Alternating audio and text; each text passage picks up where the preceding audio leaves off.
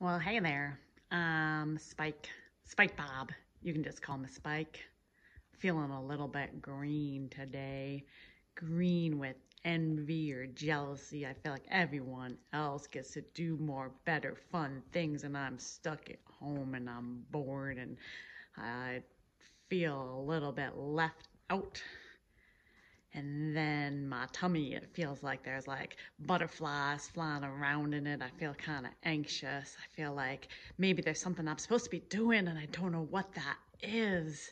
And then that makes me feel oh yucky. And then i just don't even want to get out of bed. Yep. Yep. That's what kind of day it is for me. My friend taught me a little trick and i'm going to try it.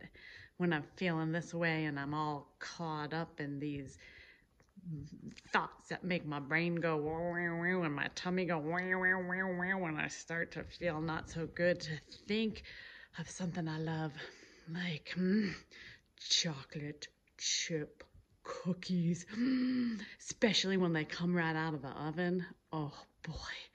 And they're still warm.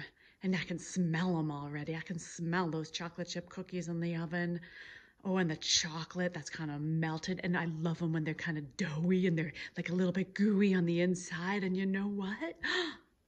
I think I already feel my tummy feels a little bit better now. It feels just more hungry, not anxious.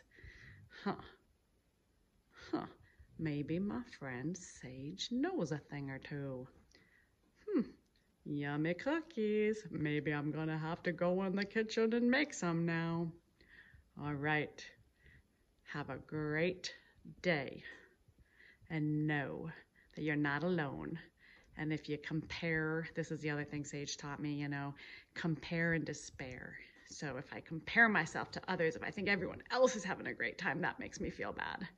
Instead, just start smelling those delicious mm, chocolate chip cookies. Yum. All right. Bye now.